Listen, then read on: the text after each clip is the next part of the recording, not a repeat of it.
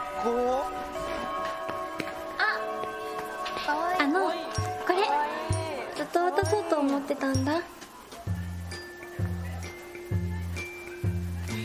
私の気持ちよかったらお返事欲しいな。えああモテモテだもん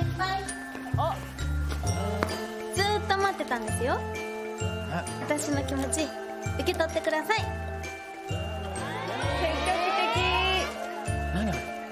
ですよ。恥ずかしい。